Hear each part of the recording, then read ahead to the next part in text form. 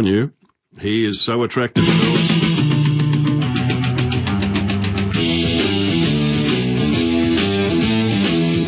He is Nick Hayes from the media stable. Good evening, mate. Oh, good evening, Walter. I, you, I think you're about to say he's full of hot air and uh, just uh, talks rubbish, but then the music came on. Um, wasn't that rocking out? that was dangerous. Okay. Uh, I do love a bit of rock and roll, as you know. oh, it's it's it's it's, uh, it's what gets us fired up, especially at this time of the evening. But That's uh, right. There's two types of music, rock and roll. There is Mm. indeed. I, I, I like to rock.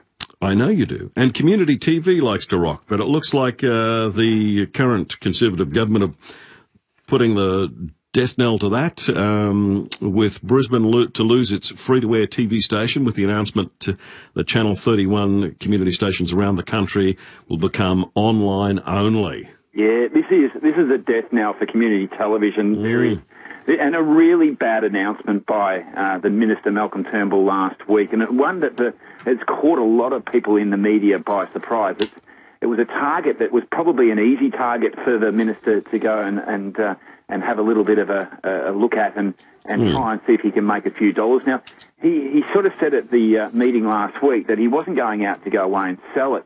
Um, the problem is there's no one really going to be out there to buy it.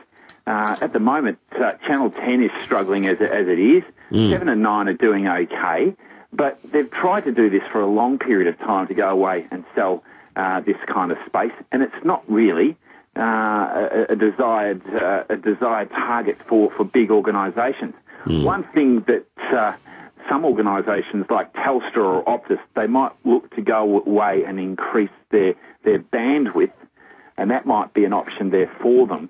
But it, it looks to me, and, and I'd love to hear from your listeners tonight, if they do watch 31 Digital, if they actually um, do tune in and see some of its uh, fantastic programming, it's, it's specialist programming. It's, it's not your it's not your seven and nine and ten big time commercial television that has budgets in excess of 500, 600 odd million. This is uh, generally working with uh, uh, a couple of paid employees and majority of volunteers. But Walter, it's the nursery. It's the nursery for all media of the future. That's my point too. It's incredible that they would even consider taking this away, and especially local content. Yeah. I mean, local content is so important, and we are being thrusted so many American television, Yep. UK, everything like that in front of us. And to be able to go away and, and, and put together specialist programs, whether you love your four wheel drive, hmm. or whether you love your fishing, hmm. or um, one program that I was a part of, and I should tell you, I, I did appear on West TV over here in, in the West, uh, running a program called Undercurrent, which is a, a local current affairs. And most of the stories we covered, Walter, were, were stories that the networks wouldn't dare cover. That's the thing. Oh, look, in the interest of transparency too, I was uh, a guest on a panel for uh, quite a while on uh, on Briz 31 while working at this radio station as a journalist, and um, and I really enjoyed the experience of uh, being on a panel discussing all sorts of uh, issues on a on a regular basis. We'd meet once oh, a fortnight or something, and the show was on every week. Went to air at night. We recorded it during the day for anyone. There's the magic of TV, all explained there. uh, but it was fun. I mean, and the good thing is the people who worked on those sets with us. Yeah. Uh, they've gone on to work in commercial TV and in the industry that they love and are passionate about, but they wouldn't have had that opportunity, that break, it, um, if it hadn't have been for, you know, Brisbane Digital 31. And the thing is, you can go to uni, you can, you can do the courses, that's one thing.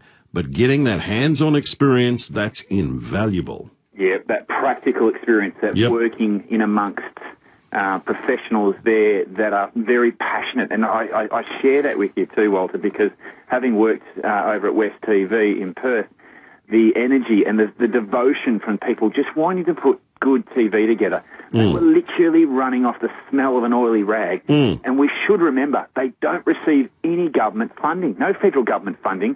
So this, this announcement, announcement by Malcolm Turnbull is purely an easy target, and I'm going to go a little further because I think there's a little more into it, and I, and I don't, you know, suggest um, that it, look, I've got a funny feeling that because community television tends to be more left of the spectrum than right, Yeah. that could have been an easy target for them. And look, there is a there, there was a big cash grab when the digital stations. So SBS has three digital stations. The ABC's got digital seven, nine, and ten. They've all got their extra digital stations, and they made a fair bit of money out of that. But while on the spectrum, there is an opportunity for them to wind back the community television stations.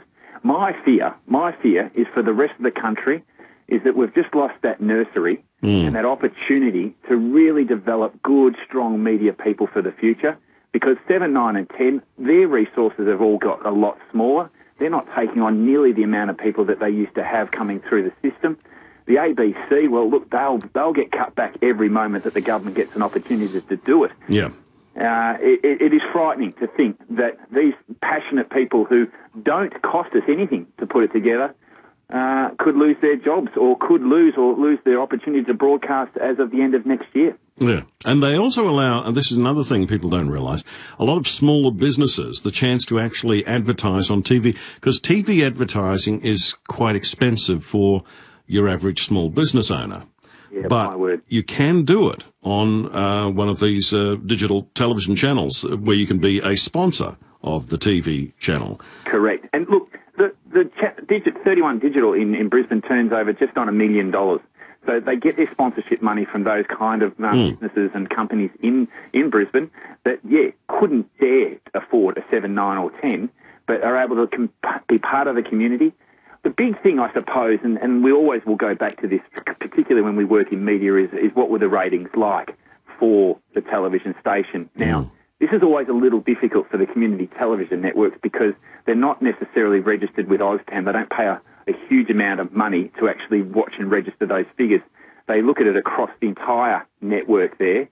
And look, the numbers are there. It's not going to hit a, a 9, a 10, or a 7, but there's a percentage of people out there, and I'd love to know if there's any of the, the listeners out there that watch any of the programs, if they're listening, at least get up and uh, and say, look, we don't want to see it disappear because I think it's such an important part of our media. It, it's not necessarily going to be the, the media. Some of the programs, I've got to admit, they're a little bit funny, um, and they're not always particularly well put together. But you know what? There's a platform for them to do it, and there's an opportunity for them to do And at least it gives us an option, doesn't it? Yeah. When, Oh, when, we're, when we're flicking around the dial, we can go, okay, well, let's see what's happening on 31, for example, in Brisbane. correct. And uh, as of the 31st, it's it's ironic, 31st of December, uh, 2015, these licenses are going to be taken away from them. And you know what the scariest thing is, though, Walter, is that the ACMA actually approved their licenses to 2019 only last year. So this is why, this is Malcolm Turnbull, this is the Liberal government coming in for a little bit of a cash grab and saying, look, I think we can wind this back. There'll be little impact. They think there'll be little impact because the community, they're not that engaged with uh, community television. They're not that interested. There's only 54 apparently uh, full-time employees around the country that work in community TV. But there's over 600, 700 volunteers that are involved, and they're the people there that want to have or, or potentially want a future in media, and that's going to be taken away from them. Well, Scott Black's the manager of uh, 31 Digital in Brisbane. Uh, so, uh, good evening to Scott. If you're listening to the program tonight, you're welcome to ring in. Peter, you are a, a viewer of Briz 31, are you? Yes, Walt. As it used to be known? Hmm. Yeah, yeah, yeah. I saw you on, on that panel show a few times. Oh, thanks, mate. I'm glad someone was watching. Yeah, yeah, yeah, yeah. yeah. we had fun. Of course, of course. Listen, um, I'm not into all those four-wheel drives and things. I've, I'm beyond all that stuff these days. But I do occasionally like the movies. Mm. Some of them are quirky. Some of yesterday's big movie, 1950 odd, snows the Kilimanjaro. Classic. Yeah, I mean, you know, none of the other stations have shown that for years. No, they play a lot of stuff that's out of uh, copyright, Yeah, yeah. But I mean, and that's good. But well, um, where are the Lions Club or the Rotary? Um, you know, why doesn't somebody put their hand up to say, "Hey, listen, let's have a fundraiser for Briz Thirty One to keep him on the air"? Mm, that's a thought. I mean, I know Lions do wonderful work in the community. I'm a Sure. huge fan of their work. Um, I, I think they have their own issues in, in trying to keep their revenue churning over, as you can imagine, Peter. Yeah. Um, but uh, yeah, let's see if we can get um, maybe some community organisations to get behind community TV. Well, it might be a good idea. I mean, you know, they're serving a purpose, as you said, training of young people, going on to other better, bigger things. Yeah. And television has changed. well, I was um, a young person when it first came to Bris, and it has changed dramatically over those years. Mm. Um, Oh yeah. you know, our first doyen of the screen um, um, on on television, you know, Channel Nine. I mean, if you spoke to him, he could tell you all the changes he saw over the years. Yes, there's been a lot of changes, Peter. Thanks for the call. Uh, Briz 31 fan who loves watching the old movies. And, and so do I. That's another thing I did want to bring up, Nick, is they do so, show some wonderful old black and white films, don't they? They do, and they're not all black and white. You were No. spot on. They're all copy out of copyright. So the the community TV networks right across the country have got access to these. I mean, some of them are classic Australian pieces that you just go, oh my, I haven't seen that in years. And uh, Peter, the talkback caller, just then hit the nail on the head. They don't play those anymore. Um, and you know, you can go back down memory lane and see it. I, I just, I think we're going to miss out on something special if we see it disappear. Yeah, and I love the way the Communications Minister Malcolm Turnbull, uh, further to what you said earlier, is saying that they're allowing the, you know, this government is allowing the uh, the stations to extend their current licensing arrangements until the 31st of December 2015, where in fact they're shortening from 2019 to 2015. Correct. It's all uh, polyspin, isn't it? It, it is poly- Polywaffle. It is polywaffle. And Malcolm Turnbull, he happens to be in Brisbane uh, tonight, and I know he's always tuned into 4BC. He's listening to what we've got to say, and if he's not, I know that the uh, the media monitors people will be uh, will be tuning in and uh, and sending him a nice little transcript of this uh, as we uh, as we speak. And uh, the whole thing is the spectrum's going to be sold off to commercial bidders, most likely telcos. And it uh, begs the questions: What could we do as alternatives? I know on um, in in uh, social media there are various people stepping up. Uh, some people are saying, "Why can't seven, nine, or ten spare one of their dud shopping channels and stream this community stations?" That's not a bad idea. It's a really good idea. In fact, only in the last 24 hours, it was suggested that one of the SBS channels, who they're not doing well at all, SBS doesn't do well as, Yeah. as a whole anyway, but the fact that it's got some digital stations there, so that has been quickly snuffed out by Malcolm Turnbull as well. You know, there are channels that you've just got to give them a, a, an opportunity, and if they take this away from them, if they put them onto the internet only, it will be the death knell of community television because I know only too well, having worked in advertising and in marketing for so long, uh, that it is, it's for the sell sponsorship online, it's half the value that it's worth on a free to air channel. And even then, it's not that appealing for most of the organisations. And as you mentioned earlier, it's an opportunity for your local cafe, for the, for the local football Yeah. club to get up and actually have a bit of a voice and, and, and be able to put some ads on and, and be able to afford it. Exactly. It's affordable TV for our local community. And I think the final word goes to a bloke who wrote, uh, sure, Malcolm, we could stream, you know, the 31 digital on the internet via the NBN. Oh, wait, you've butchered that. Ian Skippen and Loretta Ryan. Should you be entitled to No. get bereavement leave? Well, I think, I think, I don't mind the claim. I think, yes. 4BC Breakfast. People are going to take a day off anyway if their pet dies. Well, okay, do that. Weekdays from 5. Can't it just be there so that you don't feel guilty? Yeah, but how much more is there going to be? This is what's happening. It just keeps going on and on and on. Daryl, hello. Mate, what are we going to do next? We're going to have maternity leave for when the dog has pups or what? Ian and Loretta back September 22. News Talk 4BC.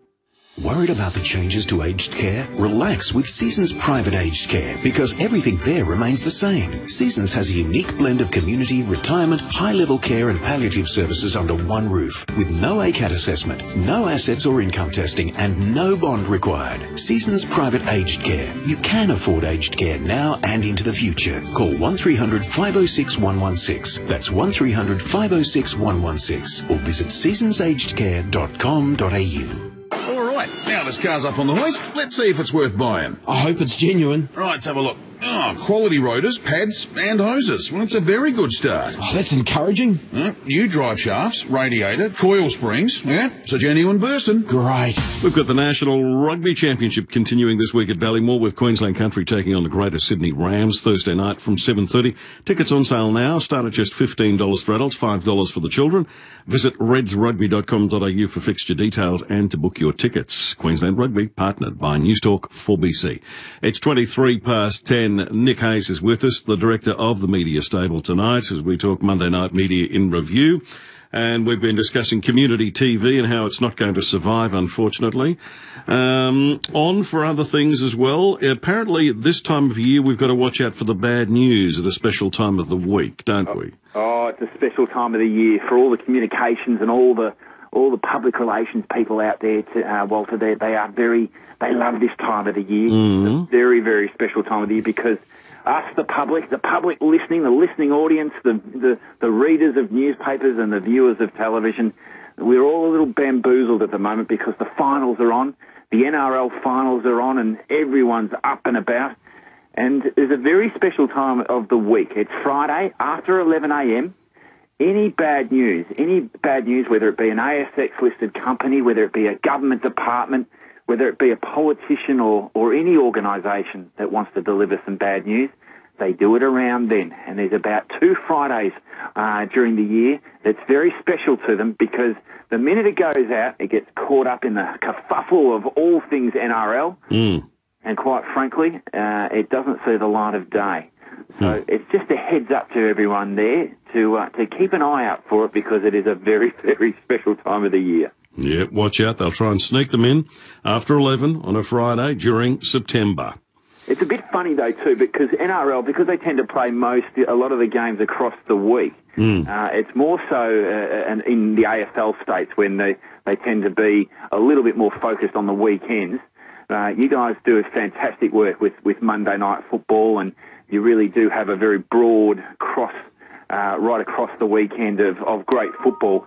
Oh, you- because of the NRL. Because of the NRL. But the AFL states, they uh, it's a it's a focus there where everything just blankets down and says, hey, no more. It's uh, it's where all, all we're going to be talking about is AFL, and uh, particularly if it's a Melbourne football club playing in the in the uh, in in the grand final, uh, the the newspapers, the radio, and the TV doesn't want to focus on anything but but that. Well, AFL supporters do go to church every Sunday, the church of uh, AFL, that is. Yeah, the MCG, it's a, the VEG. greatest church, the greatest church that it's had people filing through there for years. That that church has never dropped off, but uh, yeah, it's Who's their JC, do you reckon, out of all the players that have ever played in the AFL? Yeah, I, I, I think that's that's who they follow, that's who they support, that's who they run with, and look, it's interesting, Walter. Just before we go, I mean, it's uh, the NRL and the AFL. They've um, I, was watching the NRL Footy Show last week. I, I, I watch it on occasions. Mm. And uh, the is it Milichano? Mili, oh, what's his name? Uh, Will Milichano, or, or there was a special that was done on him. It's obviously his last season, and I think that Oh, oh, you're talking about Anthony Minichiello Anthony Minichiello from What the Roosters. send off. He's a wonderful player. Oh, and you know, and some special people. I think you know, NRL's had a lot of bad runs and gets a fairly bad press when it uh, when it gets itself in trouble. But Anthony Minichiello, I mean, I just I was watching it and I couldn't believe what a gentleman, what a what Yeah. a great fella. A great example and a, a great ambassador for the sport. Yeah, we need more of that. We need more. Terrific role model for the children too. Yeah. Coming through, he uh, celebrated his 300th game with the uh, Roosters on uh, I think it was Friday night when they played, Saturday night rather. Beautiful. Oh, what a game! And he, you know, he was he should have scored their first try, except there was some stupid little forward pass rule they have, uh, and that sort of buggered things up. Yeah, it's a, it's a game that goes backwards, doesn't it, to go forward. But look, I tell you, I, I really enjoyed it. Karl Karl Stefanovic did it on the Footy Show, and um, I, I tell you what, I don't watch a lot of it, but I was pretty impressed. I thought that that's that's the kind of thing. That's the kind of thing that NRL needs. That's the kind of thing all sports need. Mm. Is great role models, great human beings, and uh, look, uh, yeah, for everything that NRL does get some bad play and, and in the press. Uh, I think that just topped it and, and said, you know, we're in, we're in. They'd love him. I think they should keep him on as a bit of an ambassador for the game. There's been some great role models in the game of AFL over the years, uh, especially out of the Lions Club here in Brisbane. Yeah, and uh, you know some of your boys, you know when you won your three, when you won your three Pete, uh, three grand finals in a row, that was just uh, outstanding for the for the uh, for the city. One big thing to watch out over the next uh, couple of days, of, uh, over the next week anyway, is with Sydney. There is a big with the Sydney Swans playing so well and, and expected to go through the grand final. The AFL wants to have a big play for Sydney. They want to see AFL as a bigger a bigger sport in uh, in our biggest city and uh, and they're, they're trying hard to see Sydney win another grand final. And uh, but I think hands down, NRL has it. Uh, Well, and- see, the thing is, AFL is a is a better game to watch live from the venue. It doesn't translate as well on TV, and hence NRL has TV rights sewn up left, right, and centre, and big, big dollars involved. yeah, Uh, and it is just a superb game to watch on your screen at home, as well as going to the game. But but AFL, it's even better at the ground, isn't it? Oh, look, I've, I've been to a couple of grand finals when there's hundred thousand plus Yeah. people there, It's awesome. and you, you you'll you'll have thought that you've uh, died and gone to heaven. It's, uh, it's one of the most unbelievable things, especially when your football team wins. Yeah. and how is your team going? Actually, not too bad. North Melbourne, we're the ones playing Sydney this week. All so, right. Uh, uh, not expected to go through, but a little fella called Brent Harvey just went before the match review committee and he's been suspended for a week. How would how would you feel to be suspended uh, before a preliminary final? It's uh, I know. it's disastrous. I know similar things happen with uh, the Cowboys, but we don't want to discuss it. Uh, yeah, and congratulations to uh, North Melbourne Football Club's 98 to 92 win over Geelong. Yes. Well done. Well done, Nick. Nick, thank you for joining us tonight, and thank you for introducing us to your friends who we've talked to uh, last week on the show, too. Oh, fantastic! Look, uh, lots of lots of great talent out there, and uh, and good stories to be told, and uh, and no better man to be talking about it uh, than uh, Mr. Walter Williams. Oh, you're too kind, mate. Thank you. Cards in the mail along with a check. Good on Nick Hayes from the Media Stable. Thanks, mate. Our Monday night media in review, and we're talking memories are made of this with Kevin.